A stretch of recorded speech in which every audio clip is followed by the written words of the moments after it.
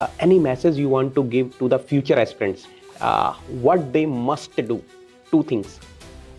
First, actually, okay, like uh, Two things. perseverance Okay. Hmm. and consistency. Consistency. Like, if you try, I mean, uh, study nine hours today, uh, you should be able to study nine hours next day also.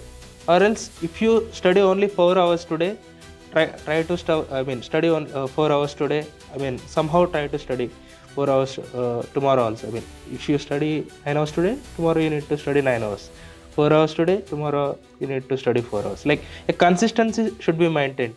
It shouldn't be like today I studied 12 hours, so tomorrow I will study only one hour. Hmm. That uh, I don't think it will. Acha, uh, let us suppose I'm preparing for 2026. Okay. I'm aspirant. Mm.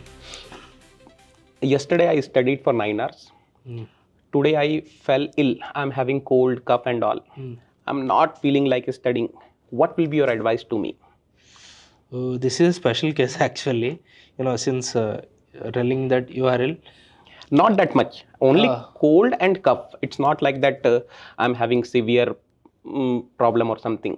try to do something Yes. which is related to you know yes. uh, for the next attempt. Yes. Don't just leave it like yeah. that. This is what I want him to say actually बेटा मैं हमेशा बोलता हूँ देखो दिन हर जैसा मतलब हर दिन एक जैसा नहीं होता कभी आप बहुत मोटिवेटेड रहोगे कभी ऐसा होगा कि आपकी हेल्थ ठीक नहीं है या कुछ भी रीजन हो सकते हैं मान लो फैमिली में कुछ प्रॉब्लम है यार नहीं पढ़ पा रहे हो एटलीस्ट रिविज़न करो कुछ भी करो लेकिन रिलेटेड टू प्रिपरेशन आपको करना ही करना है क्योंकि वो जो कंटिन्यूटी है ना वो मेंटेन होना बहुत ज़रूरी है